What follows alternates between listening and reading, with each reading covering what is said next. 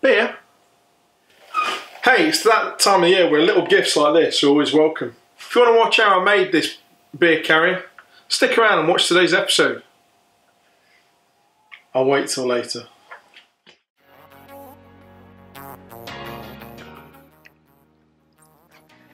Hi, I'm Shaun. Welcome to the shed. Follow me down the drive.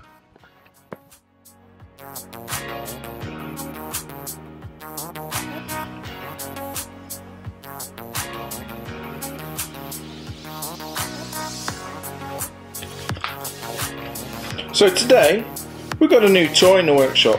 Let's get it unpacked and set it up.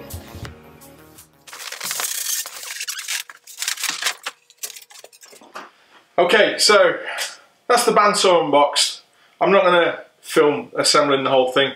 Um, there's going to be lots of swearing, lots of um, ouch, each as I drop the screws and bolts over here because I've had a quick flick through the instructions. I'm going to get it assembled, then we're going to have a quick look at it, and then I'm going to build today's project, which, funny enough, might require the bandsaw. See you in a minute.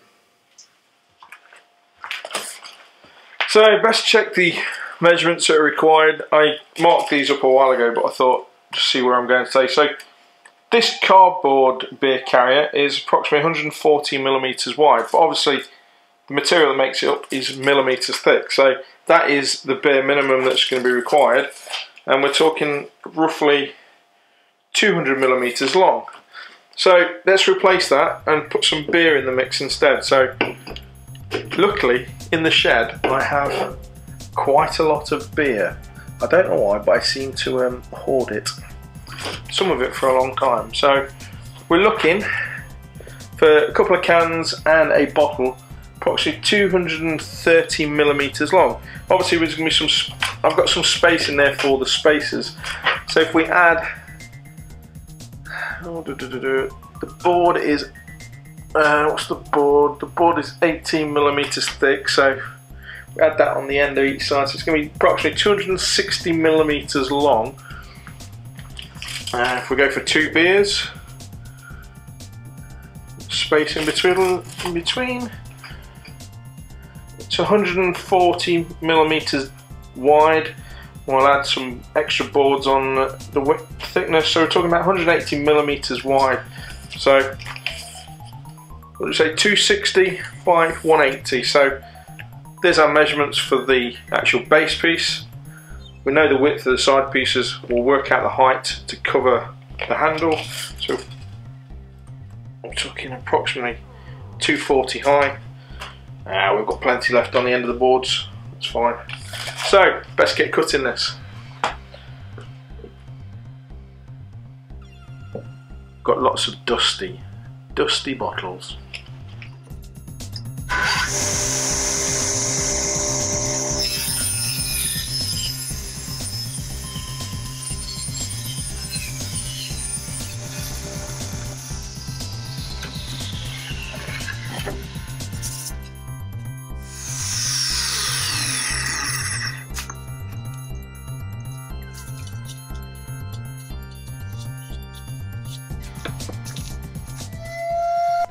The router finger joint jig is a direct copy of a recent David Picciuto video over on makesomething.tv. I will post a link to the video down below.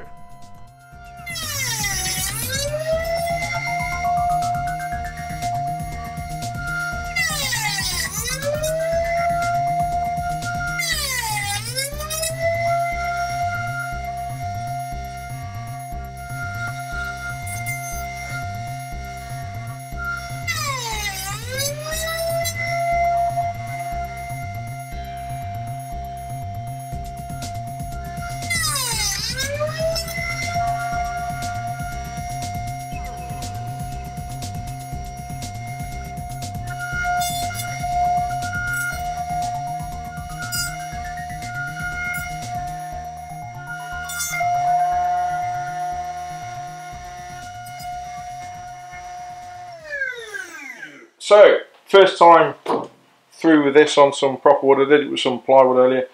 Needless to say, lots of chips flying around everywhere. I think these could probably be a little snugger there's probably a millimetre gap on a couple of the joints. Other than that, once this has got glue in, it's going to be fairly solid. Not bad for a first go.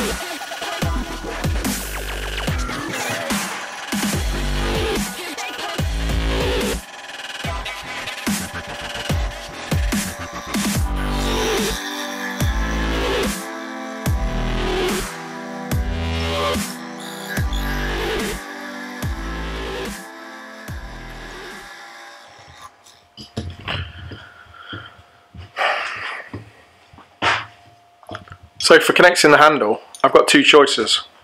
I've got my spade bit, which is 26 millimeters, or I've got my Forstner bit, which is 25 millimeters. The actual dowel I'm going to use for the handle is 25 millimeters, but having done a test fit, it's very snug when it comes to actually fitting it together. So I'm going to go for the um, spade bit and have a little play in the handle. I've got a, an idea for how to fix the handle in place though. Um, give it a little extra touch.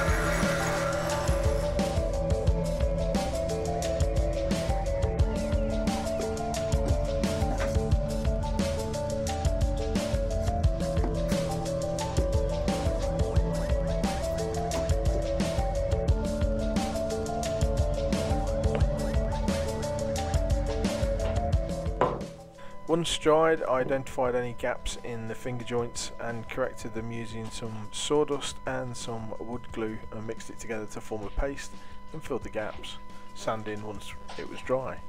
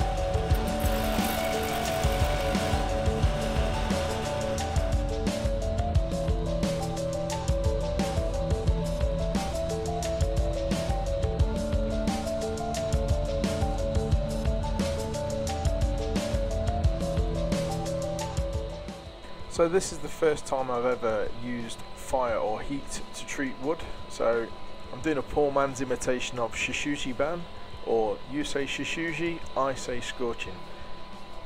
Once this is finished, it gives it a little light sanding and then I'm going to apply some polyurethane varnish. I would have done but I ran out and I couldn't find any spare cans in the in the shed after this was done so that's for a later date.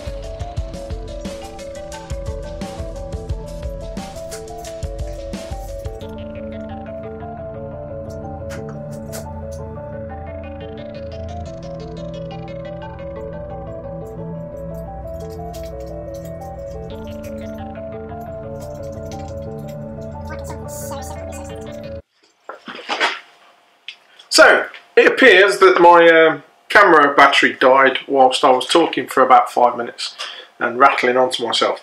So, things that I've managed to do while the battery's dead is that I've added the copper rails to this. So this is 15mm copper piping with some end caps in.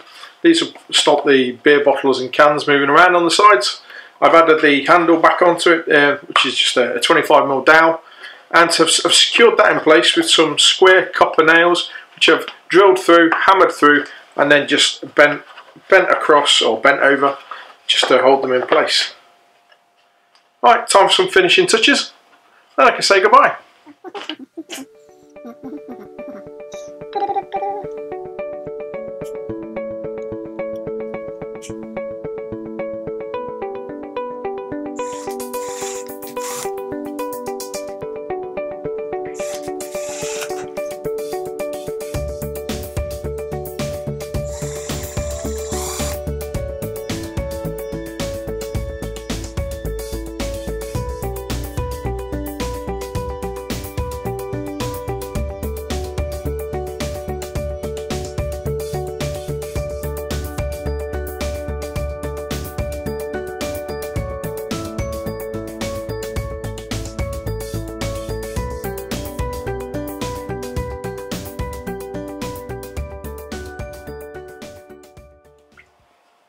And that is how I made this beer carrier. Looks quite good, doesn't it, with the um, burnt ESG against the copper. Nice little offset. If I can make this again, which I'm probably going to be making a few of them in the next few weeks, but I'm going to make it a little bit higher. I don't normally have larger bottles of beer like this. I normally have a small dumpy bottles or cans. So to me, I, am happy with the short one. But if it was for somebody else, probably a little bit taller. Um, few new tricks. Never burnt wood. Playing with copper. One of my friends on Instagram has been uh, makes models or makes um, bits of artwork out of copper, and I've just been intrigued with the colour of it. It just looks nice. I've got a few more projects coming up. I've got a, um, a Remembrance Sunday special project in, in the pipeline. Um, I've got a few more bandsaw projects coming up now. I've got a brand new bandsaw. If you can think of anything that you'd do different or you'd like me to, like to see me do, leave it out in the comments down below. In the last couple of weeks I've decided to reprioritise my weekends and my filming schedule was getting a bit too hectic with my editing schedule when it comes to putting these videos on YouTube. So I'm now going to be releasing my videos on a Tuesday night instead of on a Sunday evening. So it gives me Monday um, time to edit or Sunday evening and relax before instead of getting them out and making a little mistake here, there and everywhere. So in the top corner there's going to be a subscribe button and down the bottom corner there will be a playlist of my previous videos. In the meantime then, cheers.